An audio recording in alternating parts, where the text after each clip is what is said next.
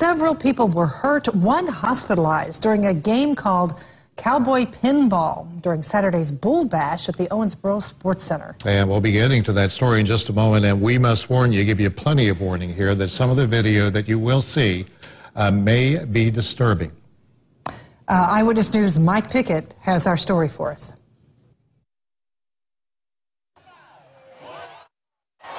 Kevin Hildebrand took his family to Saturday's Bull Bash at the Owensboro Sports Center, where they saw the Cowboy pinball game. At first, I thought it was going to be like a little fake bull or something running out there, but then when they opened the gate, it was a real bull. The game invited spectators to climb into the ring while bulls ran through it.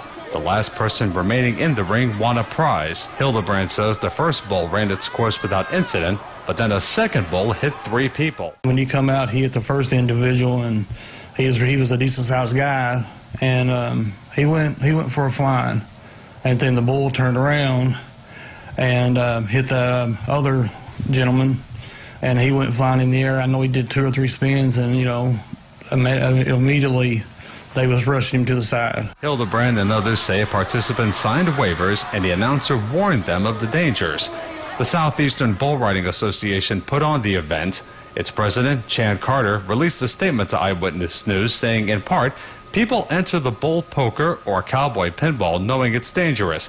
That's why they are at the event for, to either watch or participate in something they find thrilling. They add a third party was in charge of the spectator portion of event and that the Bull Riding Association had no control over it or of the spectators who participated. Hildebrand says he would go to another Bull Bash event, but he does not want Cowboy Pinball to be a part of future shows. I wish they would just leave that to the pros.